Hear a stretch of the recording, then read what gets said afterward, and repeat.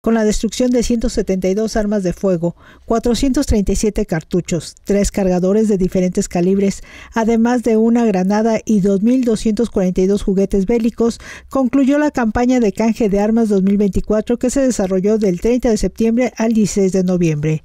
En el acto protocolario, el titular del Secretariado Ejecutivo del Sistema Estatal de Seguridad Pública, Maximino Hernández Pulido, subrayó el compromiso del gobierno del Estado de garantizar la seguridad de los tlaxcaltecas. Destacó que gracias a la coordinación con la Sedena y el esfuerzo de la ciudadanía, se ha logrado un aumento en el canje de armas al superar las cifras de los dos sexenios anteriores.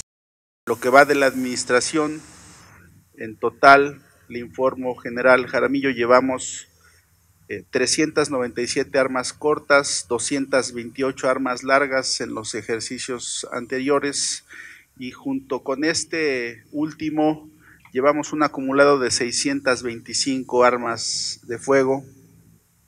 Hicimos una revisión histórica en el Centro Estatal de Prevención, eh, solo por tener un dato, las últimas dos administraciones estatales juntas eh, lograron 526 armas.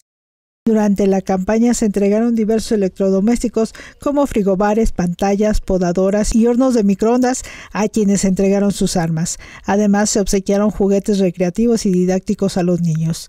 La directora del Centro Nacional de Prevención del Delito y Participación Ciudadana, Cintia Camacho Trejo, celebró los resultados de la campaña y exhortó a la población a continuar trabajando para fomentar la cultura de paz y reducir los índices de violencia.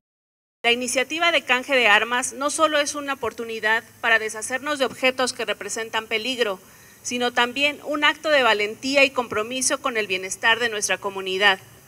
Es importante insistir en que cada arma entregada es un paso hacia la reducción de la violencia y la promoción de la convivencia pacífica.